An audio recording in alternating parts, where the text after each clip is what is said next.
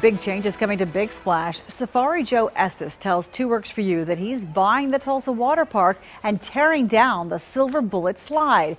Estes says that he plans to put up three new slides and make some other big changes. Estes owns Safari Joe's exotic animal sanctuary in Adair. Prosecutors charged him with sex crimes three years ago. All charges eventually dropped.